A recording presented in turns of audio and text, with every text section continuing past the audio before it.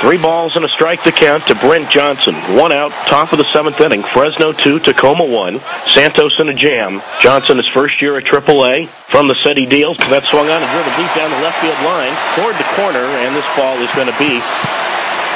Oh, it's caught! It's not Jake Wald. That's the ball girl. Jake Wald in left field can't believe it. And look, she shows him up. She just sort of tosses him the ball, saying, Take that, Jake. I don't see you making the effort. Alfonso, the catcher, he can't believe it. Let's look at that replay. Oh, my. What an amazing play. And now look at her sitting there saying, No big deal, like nothing.